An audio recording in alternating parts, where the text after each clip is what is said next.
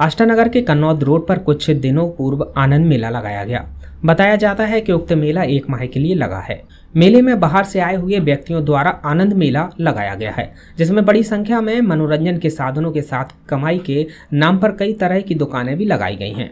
आष्टानगर जैसे संवेदनशील क्षेत्र में इस तरह के मेले को आखिर किसने परमिशन दी, यह बड़ा जाँच का विषय है। साप्ताहिक अवकाश रविवार का दिन होने के कारण आष्टानगर सहित आसपास के ग्रामीण क्षेत्रों से भी सैकड़ों की संख्या में महिलाएँ, पुरुष, युवक, युवती मेले में पहुँचे थे। इस भीड़ का फ़ायदा उठाते हुए कई असामाजिक तत्व रोज़ाना की तरह भी आज भी मेले में पहुँचे और उन्होंने अपनी हीन और घटिया हरकतों का प्रदर्शन किया, जिसको लेकर मेले में आए कुछ लोगों का उनसे विवाद हुआ।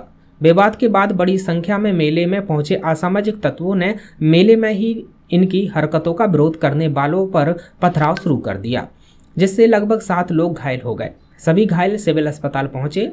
वहीं घटना की सूचना के बाद पुलिस मौके पर पहुँची। उक्त घटना के बाद भारी आक्रोश व्याप्त हो गया।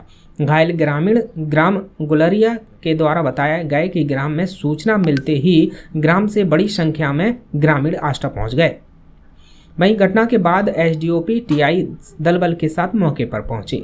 घायलों को सिविल अस्पताल लाया गया वहीं पुलिस की ओर से अभी कोई बयान नहीं दिया गया।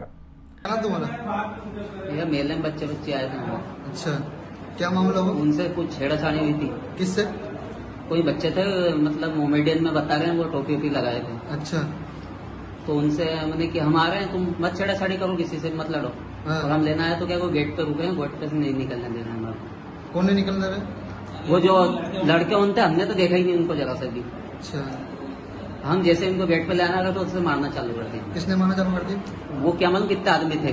किसी को चेहरा ही नहीं देख पाया आसपास से मार। गए अच्छा कैसे मारा उन्होंने? बेल्ट भी था पत्थर भी थे भैया को पत्थर भी लगी मेरे को बेल्ट धार धार थी छुरी थी उसके हाथ में अच्छा। जिसने बेल्ट मारा मेरे अच्छा कौन सी कास्ट की थी?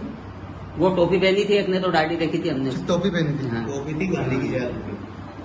चलो ठीक। सीओ राष्ट्र से यूडी न्यूज़ के लिए रायसिंह मालवी की रिपोर्ट।